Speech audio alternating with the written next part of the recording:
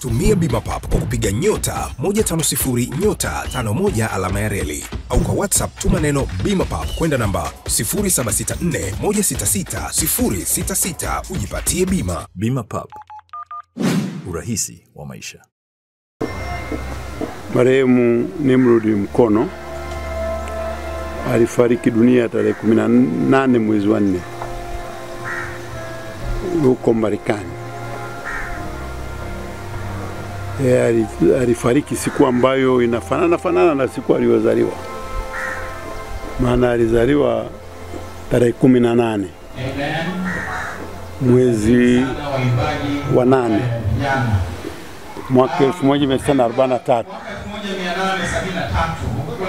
Kwa hiyo kama singefariki na kama ingelifika tarehe 18 mwezi wa nane angekuwa ametimiza umri wa miaka 80, lakini amefariki akiwa na umri wa miaka 79 na miezi saba ni miezi minane. Mia- sabini na tisa na miezi minane. Na kama ilivyo mnavyojua wote, Nimrod Mkono ali- aliondoka nchini kwenda Marekani kwa nia ya kutibiwa akiwa anaumwa, na kwa hiyo ametibiwa kule kwa muda mrefu, na hamna haja ya kujua ugonjwa kwa sababu ugonjwa ni mambo ya daktari.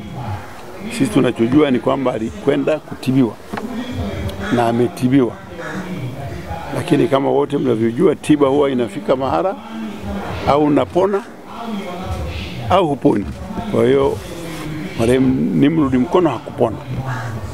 Ilipofika tarehe 18 mwezi wa nne alifariki dunia. Kwa hiyo ikabaki shughuli za kuleta mwili, na unajua ukifia katika nchi za watu, logistics za kuleta mwili mpaka kufika hapa huwa ni, ni changamoto.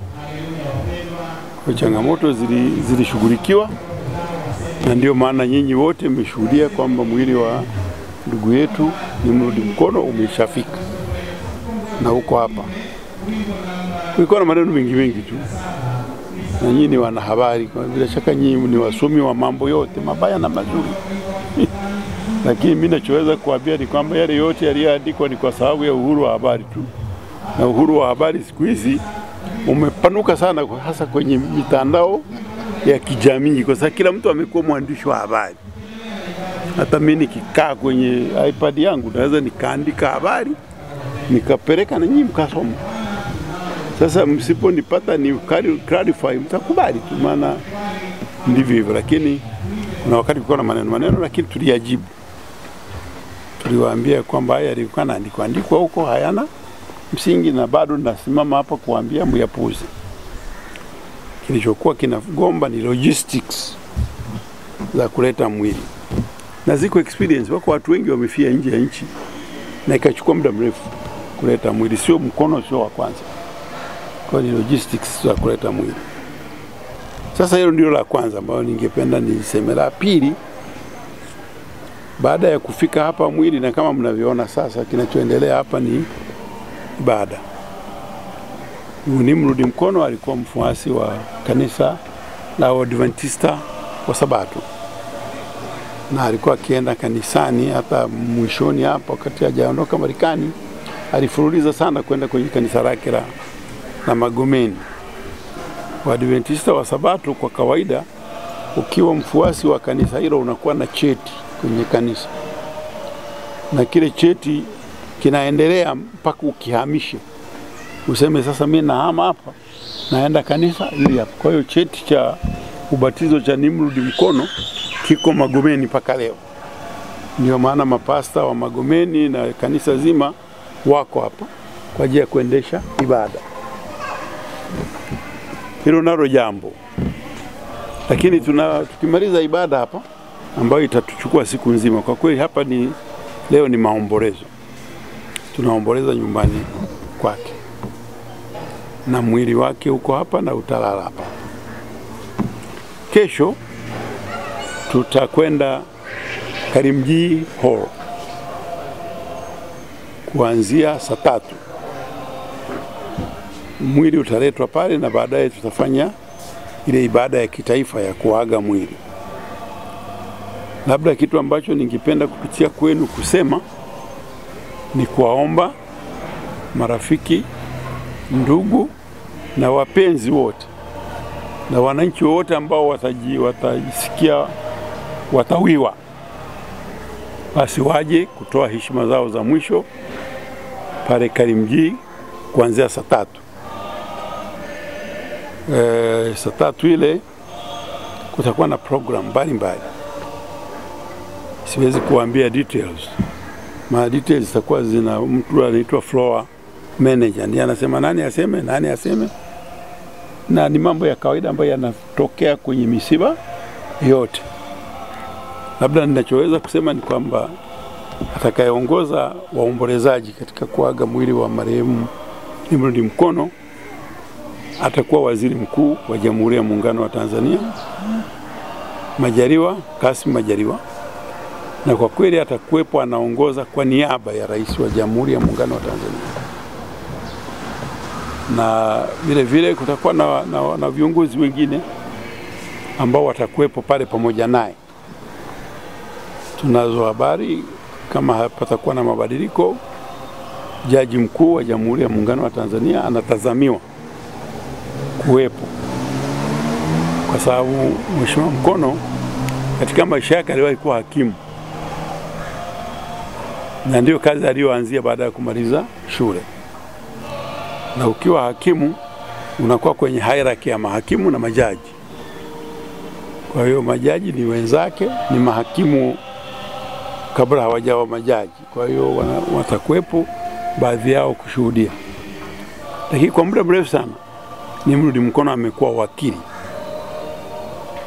na wakili wa mawakili wa Tanzania wana chama chao kinaitwa Tanganyika Law Society. Wale watakuja wana miko yao na utamaduni wao, wakifika wana, wana mitambiko yao ya, ya kiwakili, lakini watakufika pale na kutoa kauli yao juu ya marehemu ambaye ni mwenzao.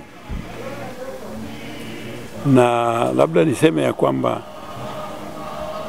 eh, Mama Maria Nyerere mjane wa baba wa taifa atakuwepo kwa ajili ya kutoa heshima za mwisho, kwa sababu mjane wa Mama Nyerere ni mkazi wa Butiama. Na Mheshimiwa Nimrod Mkono amekuwa mbunge kwa miaka ishirini. Akiwa mbunge kwanza wa Msoma vijijini na Butiama pamoja, lakini baadaye akawa mbunge wa Butiama baada ya kugawa yale majimbo. Kwa kweli amekuwa mbunge wa Msoma vijijini ikijumuisha na Butiama kwa miaka kumi na tano. Alafu amekuwa mbunge wa Butiama peke yake kwa miaka mitano. Kwa hiyo Mama Maria kama jirani wa marehemu kule, kule, kule Butiama atakuja kuja kutoa heshima za mwisho na kumwaga pale Karimjee. Mwili utapelekwa airport na jioni hiyo hiyo mwili utaondoka airport ya Mwalimu Julius Nyerere kwenda Mwanza, na tukifika Mwanza kesho hiyo hiyo tutaondoka kwa njia ya magari toka Mwanza kwenda katika kitongoji kinaitwa Kigori. Kigori ni, kitongoji cha Busegwe.